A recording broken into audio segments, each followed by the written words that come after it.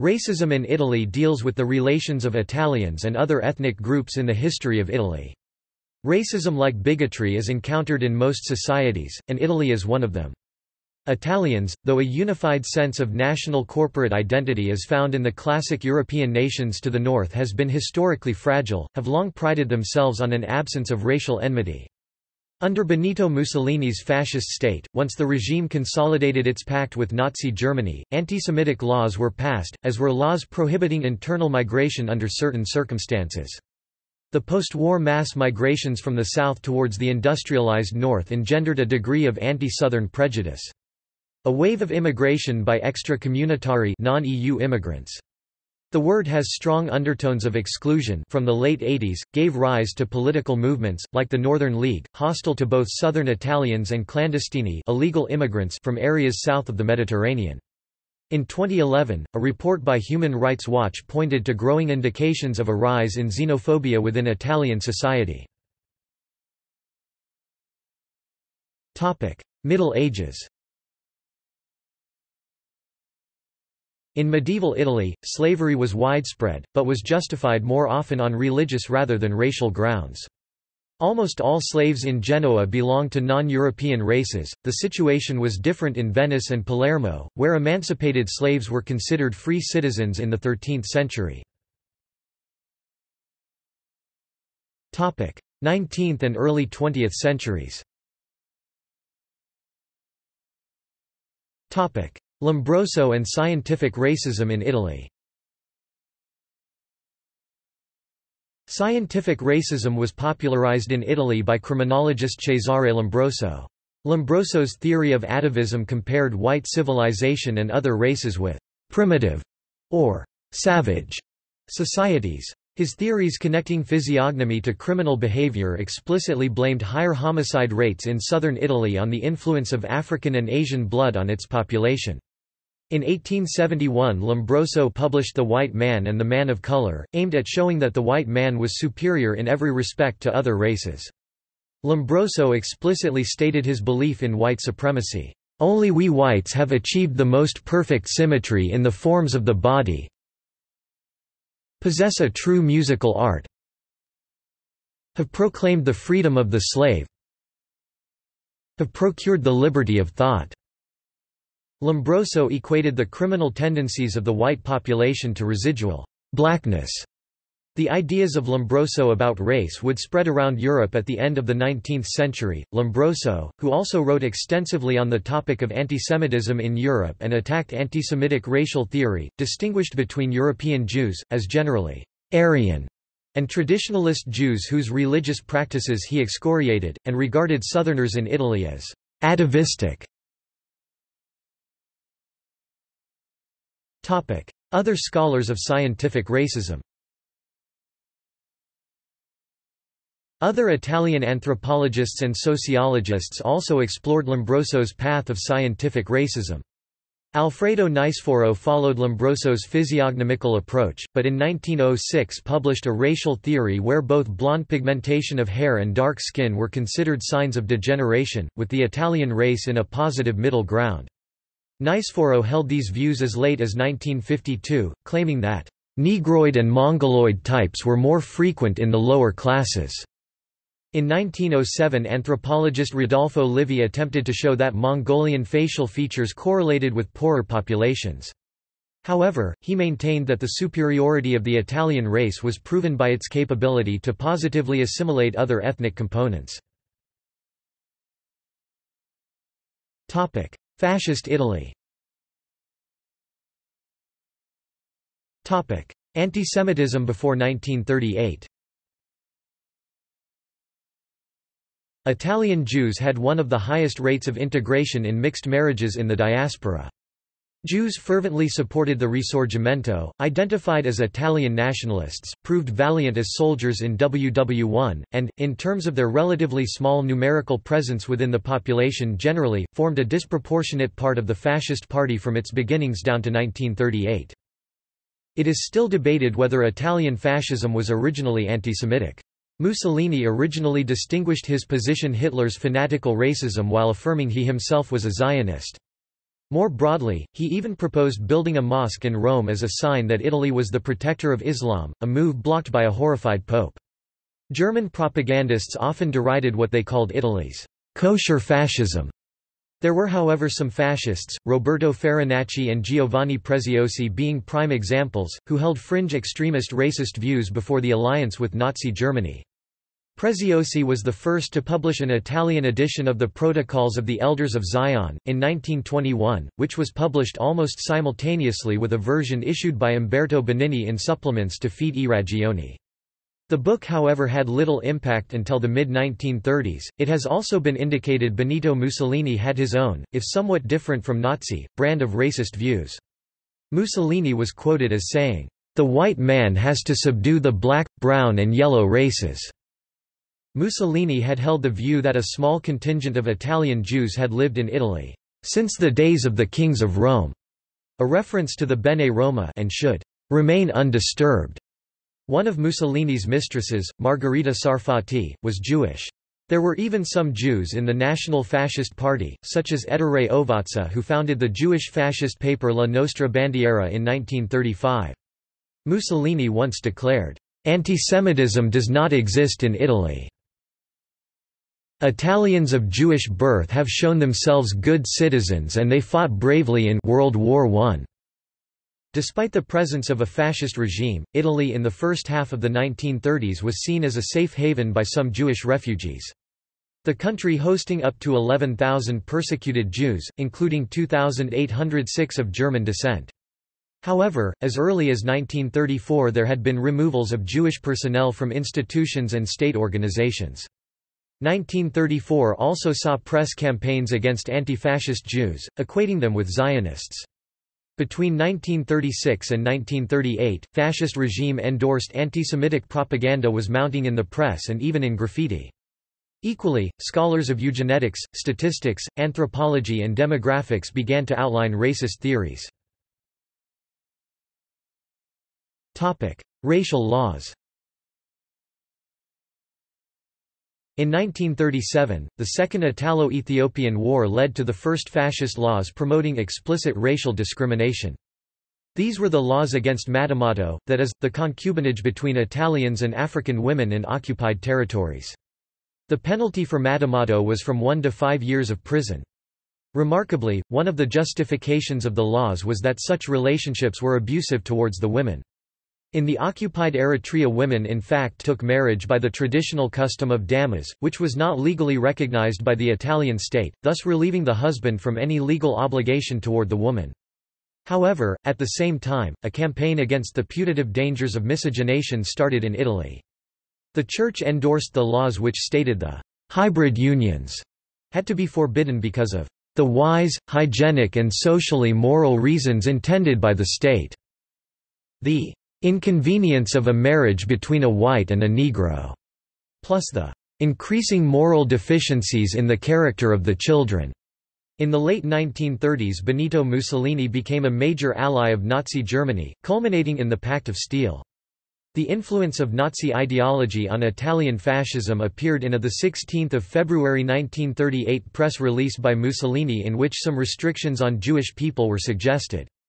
An anti-Semitic press campaign intensified, with Jews blamed for high food prices and unemployment. The fascist regime assumed an overt racist position with the Manifesto of Race, originally published as Il fascismo e i problemi della razza, Fascism and the Problems of Race, on 14 July 1938 in Il Giornale d'Italia. The manifesto was then reprinted in August in the first issue of the scientific racist magazine La Difesa della Razza. The Defense of Race, endorsed by Mussolini and at the direction of Telesio Interlandi. On 5 August 1938 Mussolini issued another press release, this time acknowledging that restrictions on Jews were going to be enacted.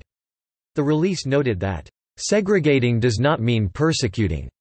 But persecution had in fact begun. The anti-Semitic metamorphosis of fascism culminated in the racial laws of the 18th of September 1938. Although they did not directly threaten Jewish lives, the laws excluded Jews from public education, the military and government, and made it practically impossible for them to pursue most economic activities. Jews could not hire non-Jews. The marriage of Jews to non-Jews were also prohibited. Fascist racism also impacted French, German, and Slavic minorities, most notably in the attempts to fully Italianize the Balkans territories that were annexed after World War I. Julius Evola. Julius Evola was an intellectual of war and post-war period. It is believed that Evola was the main Italian theoretician of racism during the 20th century. Evola published two systematic works on racism, including The Blood Myth 1937 and Synthesis of the Doctrine of Race 1941.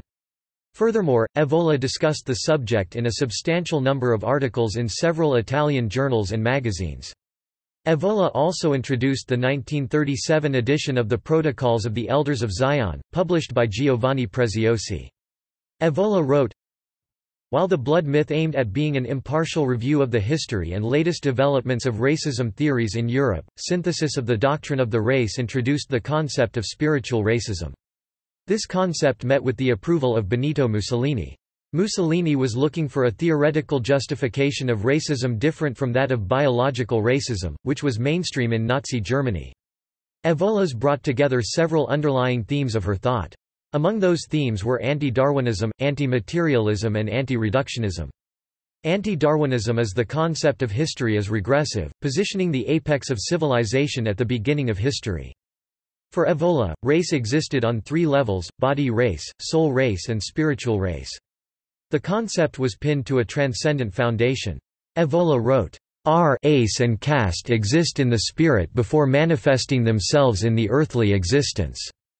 The difference comes from the top, what refers to it on earth is only a reflection, a symbol.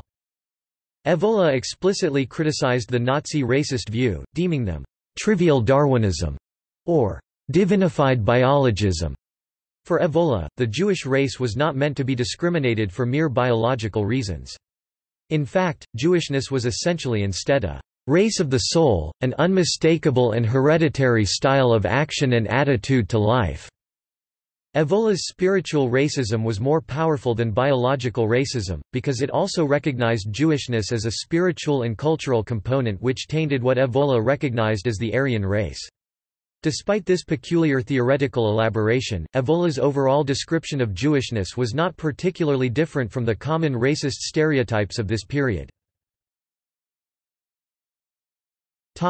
Second World War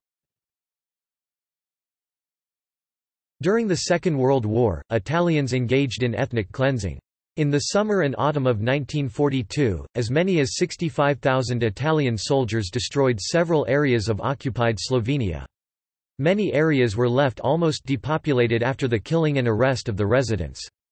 Between 1941 and the Grand Council's deposing of Benito Mussolini on 25 July 1943, 25,000 Slovenians roughly 8% of the population in the Ljubljana area were put in Italian detention camps, in order to close Italian borders to all refugees and to expel illegal Jewish immigrants. Italian authorities complied with German requests to deport Jews in the occupied Balkans and French territories. A pivotal event of the Jewish persecution in Italy during the war was the so-called Razzia, or Roundup of October 1943, in Rome. On the morning of 16 October 1943, German troops arrested as many as 1259 Jews for deportation to Nazi concentration camps.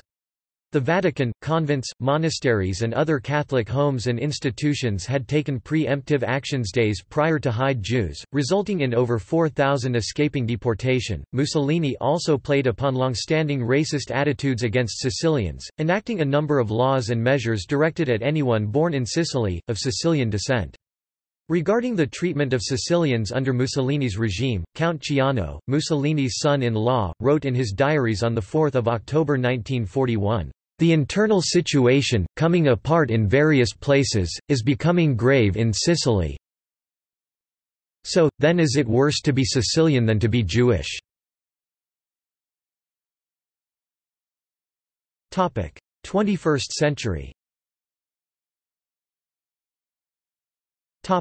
Anti-Roma racism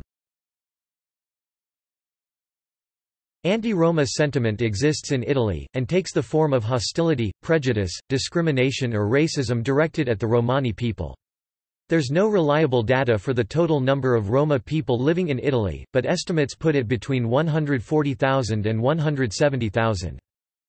In Italy, many national and local political leaders engaged in rhetoric during 2007 and 2008 that maintained that the extraordinary rise in crime at the time was mainly a result of uncontrolled immigration of people of Roma origin from recent European Union member state Romania. National and local leaders declared their plans to expel Roma from settlements in and around major cities and to deport illegal immigrants. The mayors of Rome and Milan signed security pacts in May 2007 that envisaged the forced eviction of up to 10,000 Romani people. In October 2007, extraordinary anti-immigrant sentiment exploded into violence toward Romanian immigrants and Roma in general. The violence was triggered by the murder of 47-year-old Giovanna Reggiani, a naval captain's wife, which was attributed to a Romanian immigrant of Roma origin. Reggiani was raped, beaten, left in a ditch, and died the following week. The Italian government responded with roundups of Romanian immigrants and summary expulsions of some 200, mostly Roma, disregarding EU immigration rules. According to Rome's then mayor Walter Veltroni Romanians made up 75% of those who raped, stole and killed in the first seven months of the year. In May 2008, an unnamed 16-year-old Romanian girl from a different part of town was arrested for trying to snatch an unattended six-month-old baby. After that mobs in several areas around Naples attacked Roma communities, setting homes alight, and forcing hundreds of Roma to flee.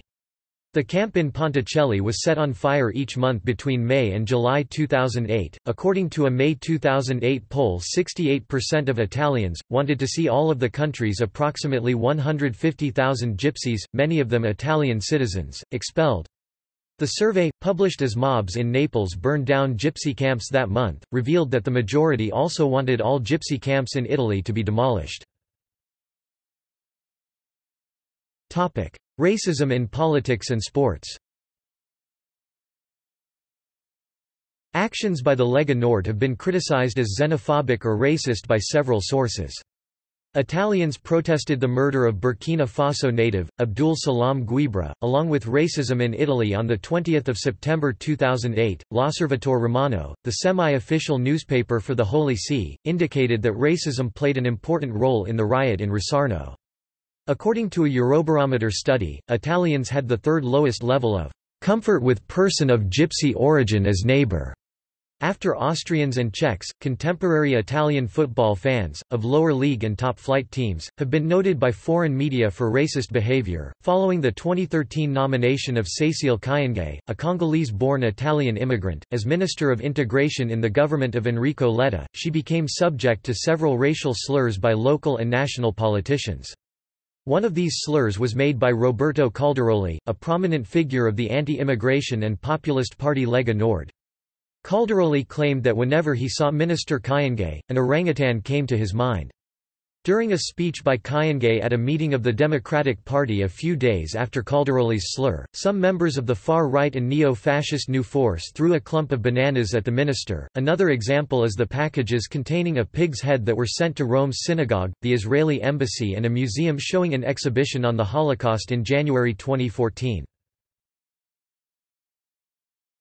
Topic: Racist attacks, shootings and murders in 2018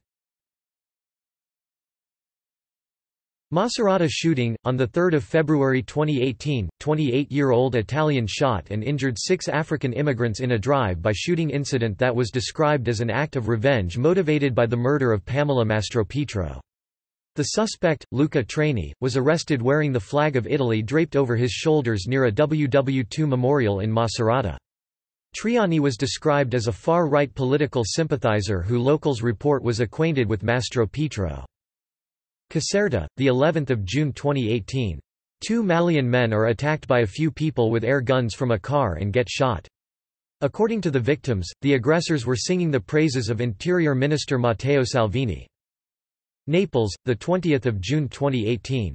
Konate, a young Malian immigrant, is injured by a few people shooting him in the belly with a pellet gun while returning home after his work at a restaurant. Forli, 5 July 2018. An Ivorian man is injured by air gun shots from a running car. Latina, the 11th of July 2018. Two African migrants get shot at a bus stop, again from a running car. Rome, 17 July 2018. A Roma child is wounded after being shot with an air gun. Some days later, the shooter is found. He justifies himself saying that he was just doing some training with the new gun, no intention of shooting anyone. Vicenza, 26 July 2018. An Italian man shoots a builder from Capo Verde who was working across the street. He justify himself stating that he was taking aim at a pigeon. Partinico, Sicily, a migrant from Senegal gets beaten up by Italian men yelling "Go back to your country, dirty nigger." Roseto, Abruzzo, the 30th of July 2018. An Italian-Senegalese man tries to renew his health card at a local hospital. An employed tells him, "Go away, this is not a veterinary office." Pistoia, Tuscany, the 2nd of August 2018. An immigrant of unknown nationality was assaulted by two men that shouting racist comments against him. Falerna, Calabria, the 14th of August 2018. A Dominican citizen was assaulted and injured by a group of assailants that shouted racist comments against him. His Italian mother-in-law was also beaten. Partinico, Sicily, 14 August 2018. Four Gambians and an Ivorian citizen were beaten and assaulted by several attackers for racist motives. environmental racism References. External links. Report of the UN Special Rapporteur on Contemporary Forms of Racism, Racial Discrimination, Xenophobia and Related Intolerance on his visit to Italy 2007 CERD Concluding Observations on Italy, 2008 European Commission Against Racism and Intolerance Third Report on Lithuania, 2006